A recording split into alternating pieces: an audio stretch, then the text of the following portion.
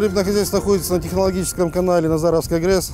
То есть вода из э, реки Челым проходит технологический цикл, нагревается и выходит уже теплая. Японский карп, сом и осетр. Как работает одно из старейших в крае рыбоводческих хозяйств. Вообще-то я поступала сначала на бухучет, шла в строительный техникум. Ну а потом поняла, что это не мое. Она на весь район одна такая. Почему женщина стала трактористом и как справляется с техникой? Э, Поскольку у нас слабая материально-техническая база, то у нас был единственный выход – это выход на работодателя. Почему без такого образования не получится подготовить специалистов для сельского хозяйства? Вот такие красавцы водятся в Назаровском районе. Это японский карп коя, выращенный, правда, в условиях рыбного хозяйства. В этом экземпляре около 7 килограммов. Чтобы он стал таким, нужно 10 лет. Но зато за один нерест дает миллион икринок.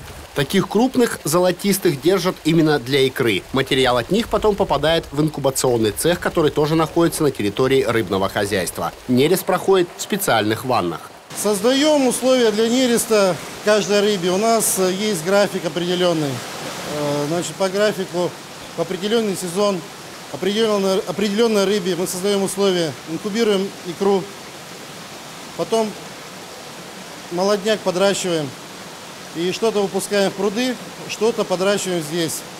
Из прудов и уже подрощенную рыбку мы выпускаем в садки на садковом участке. У каждой рыбы свой процесс. У какой-то рыбы сложный, у какой-то менее простой. Вот у карпа, Константин, наверное, самый простой, да? Э, Самый сложный, наверное, это осетра. Потому что приходится создавать зимние условия для рыбы. То есть она отсиживается, думает, что зима. И потом э, наши специалисты поднимают температуру воды и с определенными лекарствами ей ой, с- стимулируют да, рыбу, и она начинает э, метать икру. Но не без помощи, конечно, наших специалистов. Потоки и температура воды контролируются с помощью специальных приборов. С помощью этих приборов э, регулируется температура воды в бассейнах.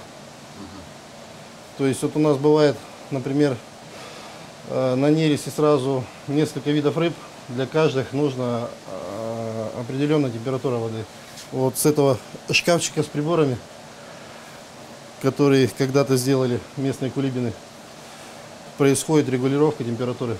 У карпа от икринки до личинки проходит от одной до двух недель. Потом их выпускают в специальные пруды, которые уже находятся на улице. Пока они пустые, но совсем скоро их наполнят водой, в которой до малька весом 1 грамм личинка будет расти полтора-два месяца. запускаем эти пруды, наливаем воду и сюда эту всю личинку помещаем до августа месяца. В августе месяце мы уже подрощенного малька отлавливаем, пересаживаем в садки на садковом хозяйстве. Есть специальные приспособления в конце прудов, когда вода уходит, ставится металлическую емкость, несколько кубов емкость, туда ставится каркас с сеткой, прям туда. Вода в этот каркас сеткой попадает, малек остается там, э, вода уходит. И мы эту сетку, с этой сетки потом э, достаем малька подручного. Сейчас в рыбном хозяйстве 7 линий по 64 садка в каждой. В одном можно выращивать до 2 тонн карпа, а всего на ферму 1000 тонн. Только до товарного веса рыба растет около 2 лет. Рыбное хозяйство находится на технологическом канале Назаровская ГРЭС, то есть вода из э, реки Челым проходит технологический цикл, нагревается и выходит уже теплая. Перепад где-то достигает до 10 градусов. Кроме карпа, нескольких видов тут выращиваются самы, осетр, стерлядь и форель. Однако по последнему виду рыб работа сезонная, только с осени по весну. За это время она успевает вырасти со 150 граммов до полутора-двух килограммов. В конце сентября, начале октября мы завозим сюда рыбопосадочный материал. Э, Растет она с октября по апрель. Завозим навеской от 150 до 200 грамм. Выращиваем где-то около 40 тонн. Плюс э, завозим рыбу где-то около 700-800 грамм для того, чтобы подрастить ее к Новому году и перед Новым годом уже начинать продавать в живом виде. Высокие температуры не позволяют ей летом переживать. данные высокие температуры, поэтому мы ее морозим весной, а летом выращиваем карпа, сомика, осетра, стерлядь. Для того, чтобы была не только теплая вода, но и прохладная, в этом хозяйстве есть еще один водоем. В этом озере вода прогревается э, до 25 где-то градусов. Обычно используем для того, чтобы передерживать рыбу для покупателей. То есть нам заявка приходит на живую рыбу, мы с садков с теплой воды эту рыбу вылавливаем и передерживаем в этом водоеме. Понижаем температуру, она потом при транспортировке себя э, хорошо чувствует. Чтобы рыба хорошо росла и набирала вес, нужны специальные корма. Сейчас они закупаются на западе России, а для форели за рубежом. Когда у нас вагоны разгружают, все корма загружают в эти емкости. Потом с той стороны подходят трактора кормораздатчики и развозят через весы корма по всем линиям. Засыпают в кормушки. Автоматизировано все. В каждой кормушке имеются маятники. Рыба, когда подрастает, начинает эти маятники, когда хочет скушать, двигать. Двигают маятники и корм сыпется. Но вот сейчас мы берем то, что в Твери. Эти корма идут у нас на осетра, на карпа и на сома. Для форели мы используем французский корма скритинг. В рыбоводстве есть такое понятие, как кормовой коэффициент.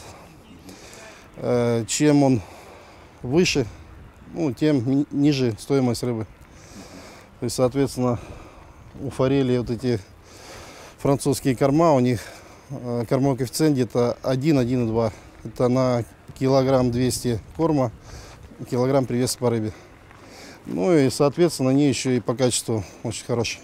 На закупку качественных кормов для рыбы хозяйство получило субсидию от Министерства сельского хозяйства края. За прошлый год сумма получилась внушительная – около 7 миллионов 300 тысяч рублей. Получаем мы субсидию по факту возмещения затрат на покупку кормов. 30% составляет субсидия. Очень нам сильно помогает. Вот в плане развития, конечно, эти деньги нам очень были необходимы. Мы заключаем договор, нам поставляют корма, мы их скармливаем, потом собираем пакет документов, и нам возвращается 30% от наших затрат по кормам. Рыбное хозяйство возле Назаровской ГРЭС работает с 1982 года. Тогда производили 600 тонн рыбы. Сейчас объемы примерно в три раза меньше по сравнению с советским периодом. Э, раньше принцип был такой, кому надо, тот приедет. Сейчас э, времена изменились. Э, торговля вся изменилась. Нужно продукцию свою доставлять покупателям и отдавать в руки. Собственно, мы сейчас в плане реализации занимаемся очень плотно. Ну, рынком города Назара нам не выжить, поэтому мы настроены реализовывать свою продукцию в Красноярске для начала. По логистике все проработаем в ближайшее время а потом уже и ближайшие регионы. Самая большая проблема – это реализация. То есть э, в плане производства у нас все проблемы решены. Люб, любой объем мы можем поднять ну, в пределах заявлен, заявленных мощностей. Самая большая проблема – реализация. В данный момент мы расширяем номенклатуру рыбной продукции. То есть вы видели, у нас сейчас появилась коя, амур, который в следующем году у нас э, достигнут товарного вида товарной массы. То есть у нас будет около пяти видов рыб, семи даже, если э, иметь в виду осетра и стерлядь. В ближайшее время в хозяйстве планируют обновить технику и прежде всего приобрести специальную машину, чтобы доставлять живую рыбу на дальние расстояния и в дальнейшем, возможно, выйти на былые объемы производства. Ближайшие два года на поддержку фермерских хозяйств и развитие кооперативов в Красноярском крае будет выделено 129,5 миллионов рублей. 123 из них – это средства федерального проекта «Создание системы поддержки фермеров и развитие сельской кооперации», часть национального проекта «Малое и среднее предпринимательство» и поддержка индивидуальной предпринимательской инициативы. Власти предполагают, что эти меры позволят увеличить и уровень занятости населения, привлечь в сельское хозяйство свежие силы и в первую очередь молодежь. Уже в этом году по результатам этой программы количество предпринимателей должно составить 54 человека. Также средства господдержки получит один кооператив. В Красноярском крае с 2012 по 2018 год реализованы крупные инвестиционные проекты в свиноводстве и молочном животноводстве на общую сумму около 10 миллиардов рублей. В результате начала работы четырех из них создано более 950 новых рабочих мест в сельской местности. Только благодаря запуску свиноводческого предприятия в Большемуртинском районе трудоустроены 736 человек. Также рабочие места созданы в Сухобузимском, Назаровском и Канском районах. На сегодня в крае продолжается реализация 21 проекта с общим объемом инвестиций около 7 миллиардов рублей. Давай, включай! Очередную порцию пшеницы загружают в посевной комплекс. Сейчас самая горячая пора. Ничего необычного на поле нет, кроме самого механизатора. Это Алена. Она единственная на весь Назаровский район женщина, которая играючи обращается с сельхозтехникой. В нашем районе 3800 человек, среди них 1257, хочу уточнить, это женщины. Но женщина-тракторист только Елена Николаевна, она одна единственная. А, Значит, трудится она уже 13-14 год в должности тракториста. А, Вот. Хотелось бы сказать, что любого мужчину может победить в этом деле. Обычно Алена на тракторе завозит на поля удобрения или проводит химпрополку. Но сегодня она в роли подмастерья у передовика производства. Женщина хоть и опытный водитель сельхозагрегатов, но за рулем этого кировца оказалась впервые. В такую мужскую профессию Алена пришла почти случайно. Вообще-то я поступала сначала на бухучет, шла в строительный техникум. Ну а потом поняла, что это не мое. Как бы я это и в детстве там делала, ну когда лет мне там 10 было, с отцом каталась, с братьями ездила. Ну, мне это нравится, просто нравится. Возиться с металлом, с железяками. Если сначала коллеги-мужчины не воспринимали женщину всерьез, то сейчас Алена лучший советник и товарищ. И глядинское хозяйство представить без ее сильной женской руки уже нельзя. Единственная в Назаровском районе женщина-тракторист на поле находится не так много, ведь посевная, затем и уборочная – это сезонный труд. Основная работа производится уже в другом месте, и там каждая минута на счету. Старенький белорус только Алене и подчиняется. Она и ремонтирует технику сама, и другим помогает. Утром и вечером дел не в проворот. Алена отвечает за стадо молодняка почти в тысячу голов. За телятами и убрать нужно, и накормить досыта. У нее нет даже выходных, как у девчонки. Потому что людей маловато. И она у нас одна справляется со многими делами. Остальным мужчинам должно быть стыдно. Очень стыдно. Потому что она многим нос утрет по ремонту даже этих тракторов. Некоторые мужчины даже не понимают. Она даже им подсказывает и сама кричит на них, что вот так надо делать. Привезти сначала сено, затем сменить прицеп на дробленку. С трудной работой даже не каждый мужчина справится. Дома тоже большое хозяйство. И быки, и свиньи. Но никогда эта сельская жительница не теряет оптимизма и силы духа. Я здесь родилась, в школе здесь отучилась. Родители у меня тут живут, братья работали тут в совхозе. Ну, и я так решила. Не нравится мне город. Не могу я в городе находиться. Ну, Накаляет эта атмосфера вся, машины, пыль. Здесь свежий воздух. К слову, во всем нашем крае всего 19 женщин-трактористов. И это почти из 4 тысяч их коллег-мужчин. Профессия непростая. Но Алена своим примером доказала. Всего можно добиться, если захотеть и уметь работать.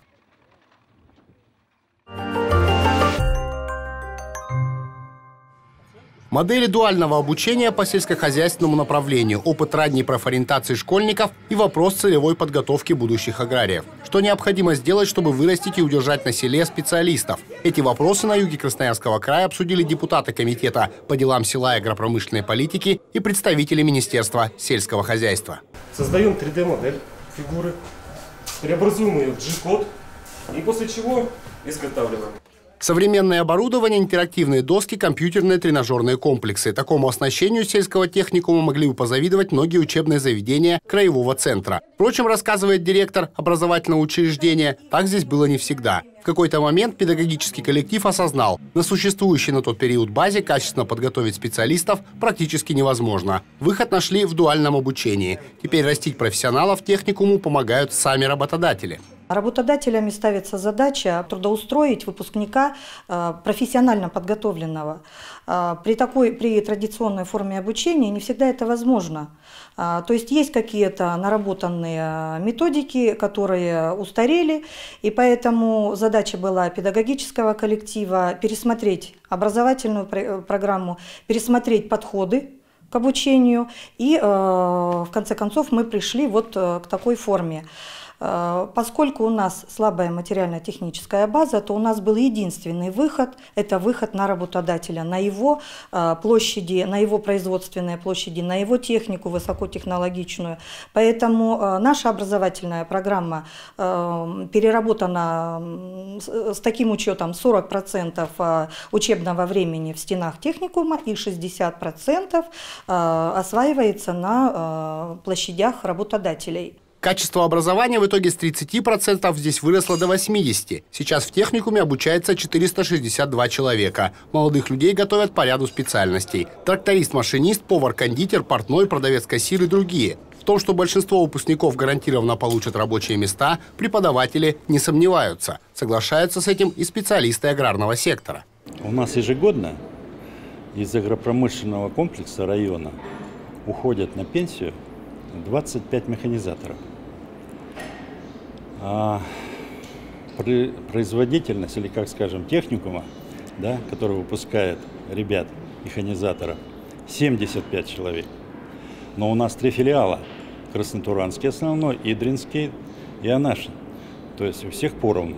То есть наша доля 25.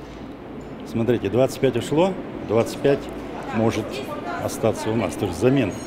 Это очень хорошее подспорье, они у нас во всех цехах помогают нам, учатся, вот, задают вопросы, очень любознательные. И вот что характерно, сейчас в этом году первый выпуск наш техникум сделал научников. И хотелось бы, чтобы все дети были востребованы в Красноярском крае. А это уже Минусинский молокоперерабатывающий завод. На юге края это предприятие как раз и стало одним из тех работодателей, кто начал сотрудничать с образовательными учреждениями. Выгода обоюдная, говорят представители компании. Учащиеся получают не только теоретические, но и практические знания, а предприятие потенциальных профессиональных работников. К нам приходят дети, и они нам помогают на практику, Потом они обучаются. Наши мастера и наши э, инженерно-технические работники преподают им. Вот сейчас у нас ходит группа 18 человек, сейчас они проходят маслоделие, завтра сыроделие. Вот так вот по группам они обучаются. Это очень хорошо. Ну и вот в этом году первый выпуск этих ребятишек, мы их отслеживали все три года мы лучшим отличникам платили стипендию. Кроме того, что они в техникуме получали, мы им доплачивали от своего завода. Они нам приносили свои зачетки, и мы вот таким образом готовили лучших из лучших. И они к нам придут. Работа ведется и со стороны Министерства сельского хозяйства. Так, на совершенствование материально-технической базы учебных заведений в этом году выделено 60 миллионов рублей. Подготовка специалистов сейчас одна из приоритетных задач. Ведь технологии постоянно совершенствуются. Техника тоже поступает новая. И нужны люди, которые смогут на ней работать. Работа со стороны министерства ведется именно по привлечению а, сегодня заинтересованности бизнеса, именно который сегодня ведет э, обеспечение в части материально-технического обеспечения тех же средств защиты, минеральных удобрений, значит, э, сельскохозяйственной техники. На базе аграрного университета у нас уже несколько лабораторий, со стороны их э, значит, проведена работа и оборудованы с укомплектованием там, макетных значит, дел и так далее. Также с их стороны выделены средства и приобретено оборудование по части значит, э, подготовки агрономов э, по квалификации именно в части значит, э, средств химизации. Такое сотрудничество надо развивать и в других сельскохозяйственных техникумах, рассуждают участники выездного заседания. Ведь средств для приобретения современного оборудования для подготовки востребованных специальностей не хватает во многих учебных заведениях. Именно поэтому связка предприятий и образовательных учреждений позволит выйти профтехобразованию на новый уровень. Впрочем, начинать ориентировать ребят нужно уже со школьной скамьи. А еще стоит задуматься о поддержке индивидуального целевого обучения, но с определенным условием. Мы должны все-таки заострить ответственность, что человек, который прошел по этой так сказать, кругу, получил диплом, он должен все-таки понять, что он должен отработать, ну, там, свою, так сказать, те затраты, которые ему, так сказать, предоставили, да, и те возможности. А затем он должен, если у него там какие-то уже мажорные обстоятельства, это одно, а если он уже там по собственной инициативе, он должен компенсировать. То есть вот тут должна быть тоже ответственность. Без финансовой поддержки здесь, конечно, не обойтись. Приходят к выводу участники выездного заседания. Но работа должна быть системной, и депутатский корпус готов принимать в ней самое активное участие.